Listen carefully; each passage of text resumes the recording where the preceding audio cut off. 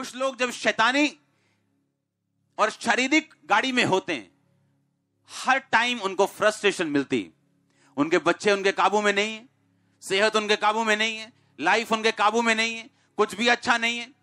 हाँ पैसा आ रहा है कहीं से, ठीक है, लेकिन चार चीज़ें बिगड़ी हुई, क्योंकि परमेश्वर की ब्लेसिंग्स उनकी लाइफ पे नहीं अगर परमेश्वर की ब्लेसिंग्स चाहिए, आपको परमेश्वर वाली गाड़ी के ऊपर चलना पड़ेगा।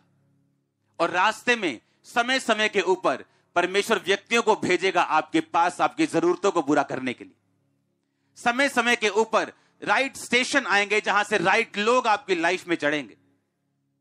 और अगर परमेश्वर लगता है आपसे बात नहीं करता, फिर भी आप उस गाड़ी में होंगे जो राइट टाइम के ऊपर आपको राइट जगह के ऊपर लेके जाएगा। आपको घबराने की ज़रूरत नहीं होगी कि परमेश्वर ने मुझसे बात नहीं की। या मुझे लग नहीं रहा कि परमेश्वर मुझसे बात कर रहा है। मैं रोज प्रार्थना में बैठा हूँ।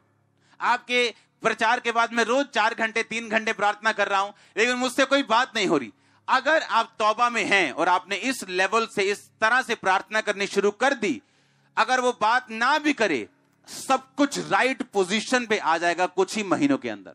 एवरीथिंग हर एक चीज़। आपको ना भी पता हो, आपको राइट चीज़ मिलेगी। राइट व्यक्ति मिलेंगे। रॉन्ग व्यक्ति आपकी लाइफ से जाएँगे। हर एक चीज़ राइट टाइम के ऊपर परमेश्वर आपको देगा। अगर आप इस तरह से चलेंगे तो परखा हुआ विश्वास और प्रार्थना में कहता, लगे रहो।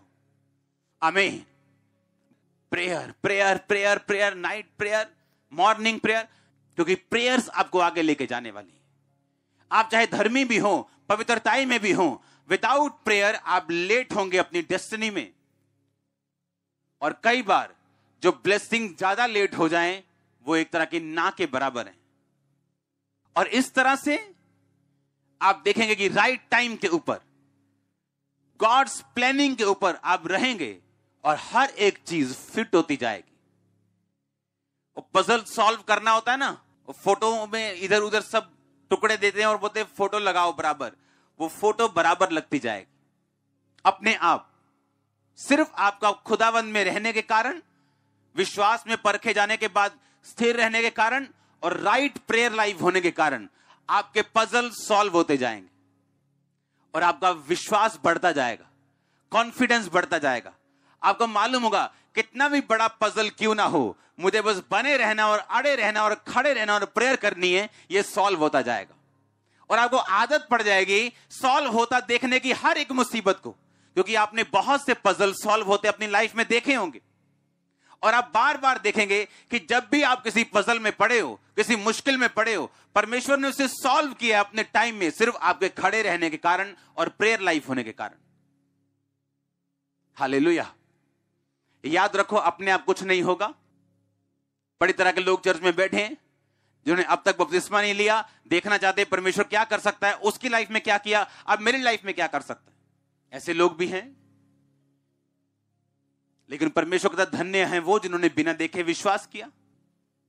अब इसराइलियों के साथ एक राजा युद्ध कर रहा है और वो राजा युद्ध कर रहा है और देख रहा है कि मेरी सेना हार रही है। और वो राजा जिसने, जिसके बड़े बेटे ने उसके बाद राजा बनना था, बाइबल कहती है कि उसको बलिदान कर दिया। और जैसे ही उसको बलिदान किया इसराइली हारने लगे। ये बड़ा अजीब चैप्टर था। कि एक शैतानी व्यक्ति शैतान को अपने बेटे की बलि देता है, क्योंकि यहोवा परमेश्वर किसी बंदे की बलि नहीं लेता। और ऐसा कैसे कि इसराइल की सेना हारने लग जाए एक शैतानी बंदे की, अपने बेटे की शैतान को बलि देने से? क्योंकि प्रॉब्लम यह थी, परमेश्वर गुस्सा हो रहा था इसराइल के ऊपर कि एक अविश्वासी बोने की सामर्थ्य को जानते हैं। एक अविश्वासी जानते हैं, अगर मैं बोऊँगा तो मैं काटूँगा इसराइली ये देखते हुए भी कि उसने अपना बेटा कुर्बान किया, उन्होंने परमेश्वर के आगे किसी भी चीज़ की कुर्बानी नहीं की। और इस वजह से परमेश्वर नाराज़ हुआ और इसराइली बाइबल कहती है, हारने लगे। प्रॉब्लम यह है, क्रिश्चियन लोगों को लगता है कि बिना कर्म किए वो अपनी लाइफ में ब्लेस हो जाएँगे। या सिर्फ़ प्रेयर करके ब्लेस हो जाएँगे। क्योंकि फेथ में खड़े रहना, प्रेयर करना और सेक्रिफिशियल गिविंग बोना अगर ये चीज़ें आपकी लाइफ में हो, आप एक स्ट्रॉन्ग फाउंडेशन पे अपना घर बना चुके हैं, जिसको हिला नहीं सकता कोई। स्ट्रांग फाउंडेशन आपकी आपकी जो नींव होगी, वो स्ट्रांग इतनी स्ट्रांग होगी, वो हिलने वाली नहीं होगी। अगर आप चुपचाप बैठे तो वो भी चुपचाप बैठे।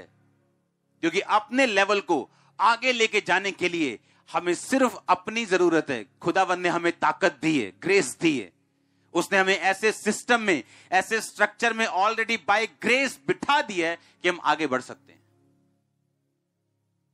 हालेलुया अगर आप ऊपर देखते जाएँगे कि खुदा कुछ करे तो खुदा नीचे देखेगा आपकी तरफ़ कि आप कुछ करें। विश्वास में परख के साथ निकलना स्ट्रांगली बोना स्ट्रांगली आप मज़बूत क्रिश्चियन है फिर। आपकी नींव को हिलाया नहीं जा सकता फिर।